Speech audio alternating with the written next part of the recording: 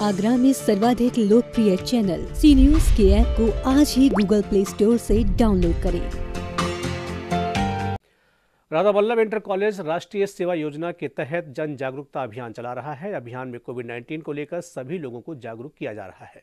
कार्यालय डीआईओएस में Radha Ballabh inter college के छात्र छात्राओं द्वारा राष्ट्रीय सेवा योजना के तहत जन जागरूकता अभियान चलाया गया, जिसमें विद्यालय के इंटरमीडिएट छात्र छात्राओं की मौजूदगी रही और वैक्सीन लगाने के नारे लगाए। इंटर कॉलेज के प्रवक्ताओं द्वारा बताया गया कि जब से कोविड 19 का वैक्सीन आया है, बहुत से लोगों में इसका भय है कि वैक्सीन के साइड इफ़ेक्ट न हो। कॉलेज के पदाधिकारियों द्वारा भी ये बताया गया कि सभी को समय से कोविड 19 का वैक्सीन लगवाना चाहिए, जिससे हम सब कोरोना को हरा सके।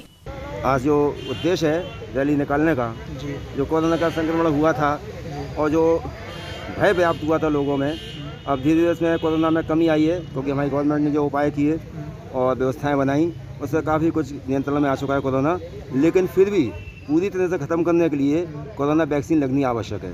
ये जो वैक्सीन आई हुई है, कोविड 19 उसको लगवाने से संबंध हम बच्चों के द्वारा प्रचार प्रसार कर रहे हैं कि सभी लोग जागरूक हों और समय से वैक्सीन लगवाएँ, जिससे हमें कोरोना से मुक्ति मिल पाए। इस वास्ते ये लोग प्रचार प्रसार में लगे हुए हैं।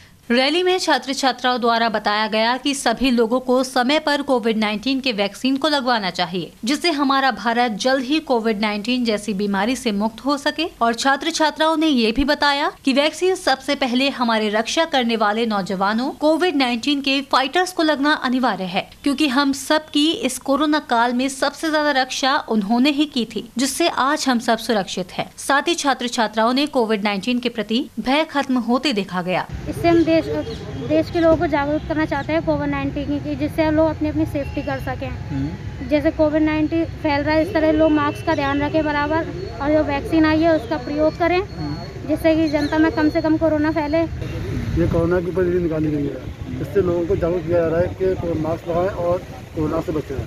जो छोटे छोटे बच्चे हैं वो मास्क नहीं लगा पाए इसलिए जो मोदी जी ने वैक्सीन तैयार की गई है जो टीकाकरण के रूप में लगी जा रही है। अभी जो पहले वैक्सीन लगी डॉक्टरों को और कुछ बुज़ुर्ग लोगों को लगी गई है। रैली के दौरान शिक्षा विभाग के ज्वाइंट डायरेक्टर मुकेश अग्रवाल की मौजूदगी रही और संयुक्त शिक्षा निदेशक द्वारा छात्र छात्राओं को अभिनंदन किया और कहा कि आज हमारे देश के प्रधानमंत्री के चलते ये संभव हो पाया है कि आज हम सब कोरोना से भय मुक्त है। साथ ही मुकेश अग्रवाल ने प्रधानमंत्री और कोरोना फाइटर्स को धन्यवाद भी दिया। सी न्यूज़ के लिए ब्यूरो रिपोर्ट।